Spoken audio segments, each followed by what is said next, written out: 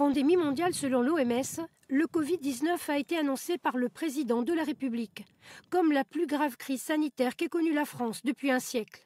Une référence à l'épidémie de grippe espagnole il y a tout juste son temps. Elle avait fait des ravages en Corse. La Première Guerre mondiale n'est pas encore terminée quand ce virus, initialement parti de Chine vers les États-Unis, est arrivé en Corse par des soldats permissionnaires au printemps 1918. Cible privilégiée de ce virus H1N1, des jeunes en bonne santé.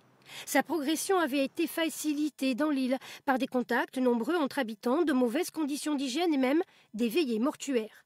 Principale mesure prise alors, la fermeture d'écoles, bilan estimé de la grippe espagnole en Corse, 5 000 à 6 000 morts qui s'ajoutent aux 10 000 de la Première Guerre mondiale. Au XXe siècle, la Corse a été aussi confrontée au paludisme et éradiquée grâce à la démoustication et l'assèchement de certaines zones marécageuses. Autre épidémie récurrente, la tuberculose. Chaque fois, la Corse a utilisé des zones de quarantaine. Un sanatorium est établi à Lourdes, dans le Cap Corse, un autre dans le bâtiment du Lazaret à Ajaccio, construit justement pour confiner les personnes atteintes de maladies contagieuses. Ce fut le cas lors des épidémies de variole. La principale, en 1765, a provoqué la mort de nombreux enfants. Encore plus loin dans le temps, la Corse a connu des épisodes de peste. Elles se sont succédées au XVIe et XVIIe siècle, entre 1525 et 1656.